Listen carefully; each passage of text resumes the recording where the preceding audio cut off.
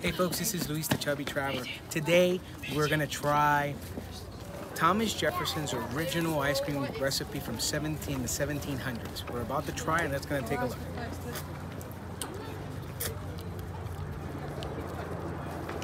Sweet, not as not as um, you know overpowering, but natural.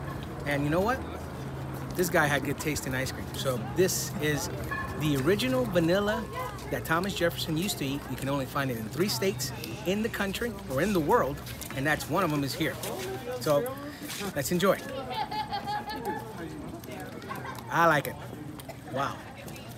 Mm. Delicious. Okay. Hey, bon.